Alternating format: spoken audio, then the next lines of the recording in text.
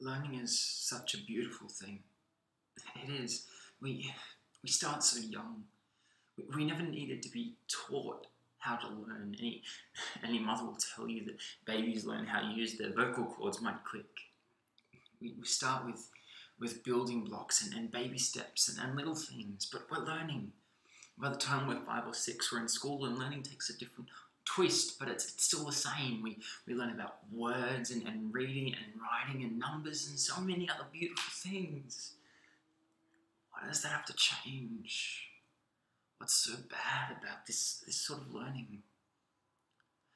I, don't know exactly where the changeover happens, but somewhere in there a new, new message creeps in, and suddenly this learning has a new purpose, a new focus. Get a job.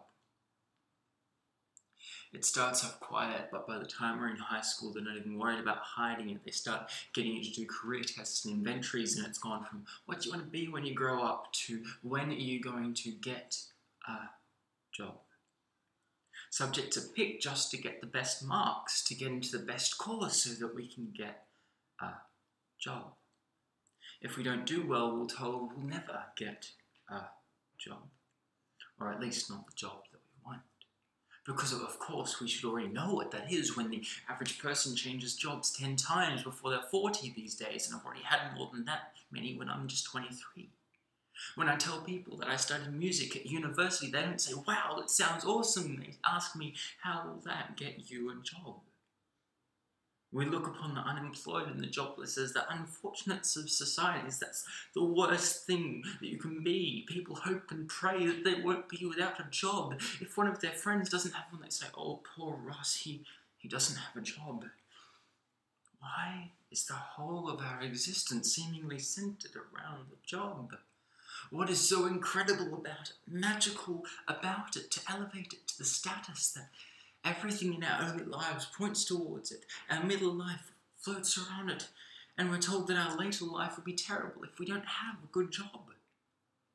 Or is it that money which jobs give us what our lives are based on, and without it we can't see how to keep going or keep living?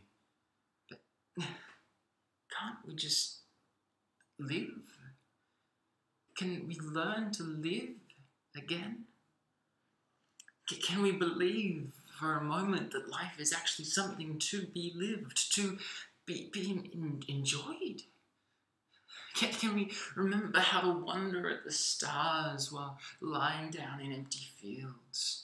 Or talking to someone just, just to connect?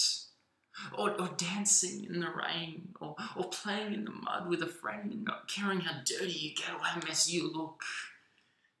Can we remember what it means to, to rest? To appreciate beauty? To love? To not be consumed by worry and, and stress? To not dread Mondays long for Fridays? Can, can you remember what life means? Or are we already too far gone?